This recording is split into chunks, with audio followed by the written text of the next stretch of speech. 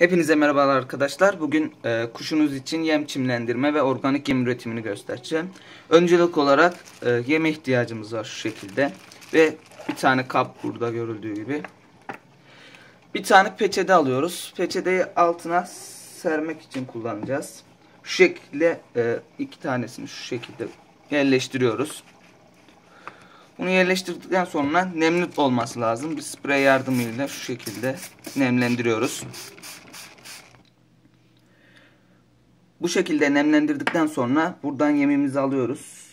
Şu şekilde darıları aldıktan sonra burada şöyle biraz kullanacağımız kadar atmamız yeterli. Ben fazla atmıyorum. Şu şekilde attıktan sonra yine tekrardan bir peçete yardımıyla üstünü kapatıyoruz. Kapattıktan sonra tekrar bir sprey yardımıyla bunu yeniden nemlendiriyoruz. Bunu koyacağımız ortam e, çimlenene kadar hafiften gölge bir ortam olması lazım. Çimlendikten sonra e, ışık alan bir yere koymamız gerekiyor. E, bu yemi e, çimlendikten sonra direkt kuşlara verebiliriz veya çimlenip büyü, büyümesini bekledikten sonra tekrar tohumunu alabiliriz.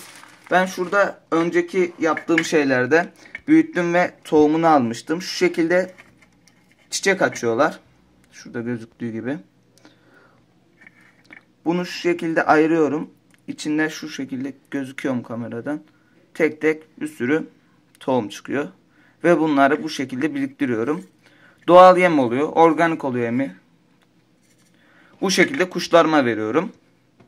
Bu kadar arkadaşlar. Beğenmeyi ve yorum atmayı unutmayın. İyi günler.